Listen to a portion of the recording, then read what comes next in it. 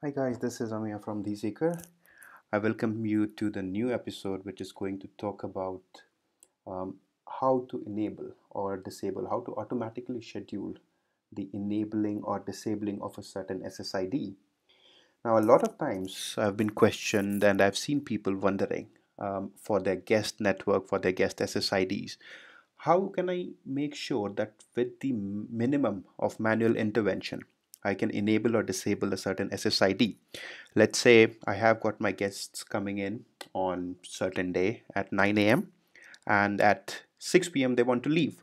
Now I have got an IT admin guy who has just enabled the SSID at 9 a.m. but forgot to turn it off. How do I avoid such, such kind of circumstances where I have a certain SSID which has been left off, enabled, people are still connecting to it and you know basically going on and scheduling how how I manage my particular SSID which is only supposed to be for guests right? So in this video I'm going to show you how can I schedule a certain SSID right? So here is my controller and as you can see I've got three different SSIDs and I'm going to be concentrating on this SSID called FT-SSID and um, I've got a prime infrastructure which I'm going to be using for doing this task. So let's let's look at um, the SSID. It's it's a normal SSID. I've got the security part configured for .1x. You can have anything as security, doesn't really matter. You can have an open SSID, PSK, .1x, or a WebAuth. So it's it's all good. Uh, next part, I'm going to prime infrastructure. First things first, I have to make sure that my controller that I'm looking at that is synced and the synchronization is complete. It is showing up as managed. It's showing up as reachable right? Once I've done that I'm going to go into the particular controller and I'm going to look at the WLAN configuration section. Now here you can see the list of the SSIDs that I've got. I'm going to select .11r profile name ft-ssid then I'm going to say schedule status. Okay. Now here I have the flexibility and, remember this is only for this particular profile. You cannot apply this task for any other uh, profile or any other SSID. You delete the SSID from the controller or from the prime infrastructure. This task is going to be invalid. You cannot access or do anything with this task. You will have to delete the task and create a new one for the respective SSID. Now let's say I have my current status as disabled. I want to go ahead and enable it. Okay.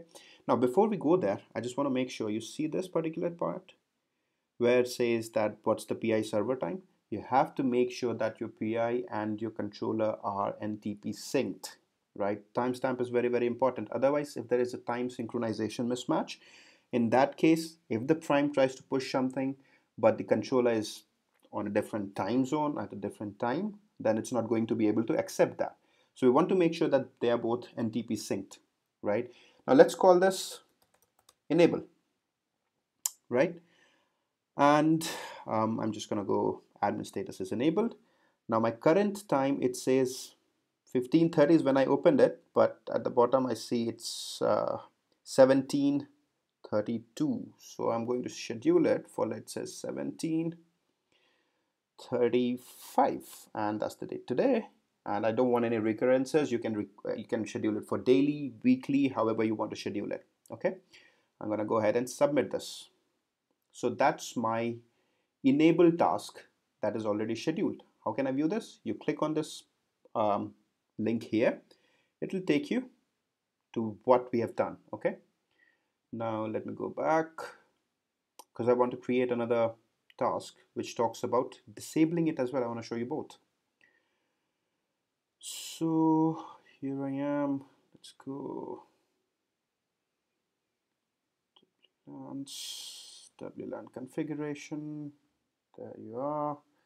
Under schedule status. Before okay. And I want to say enable. Oh sorry. Disable.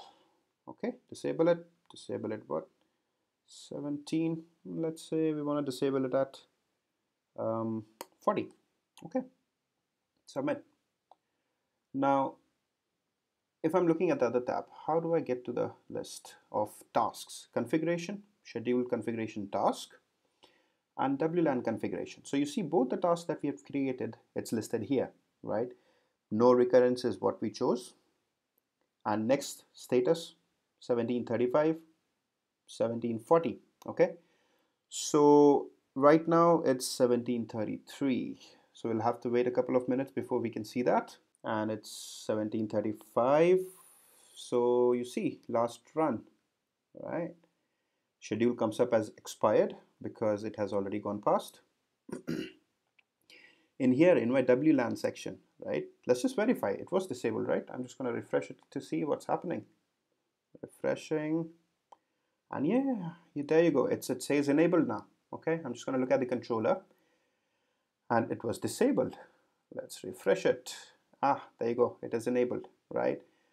Now, I'm going to wait for this particular task and then see how we can go ahead and set it to disable automatically. I know that I turned it on at 1735 and I've scheduled it to turn it off at 1740. Similarly, you can do that for, and you can set your time. So you just go here and set your time. You want to turn it on at 9 a.m. You select 9 a.m. Whichever day you want, whichever recurrence you want, right? You can turn it on that way. And similarly, you can turn it off whenever you want. You want to turn it off at 1800 hours? Okay, there you go. So you can just do that, right? So you have the flexibility to edit this task as well when you're talking about a certain SSID. But remember, this is only for this SSID. If I delete this SSID from my controller, this particular task is rendered useless, right? So we will just wait and see what happens at 1740. Do I get this?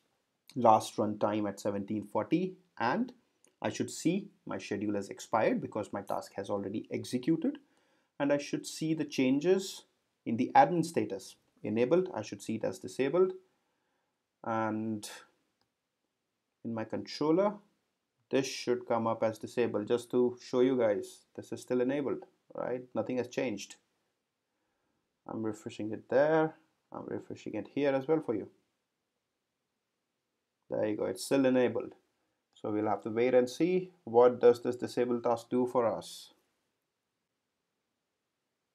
so as you can see I'm, I'm just going to refresh it again.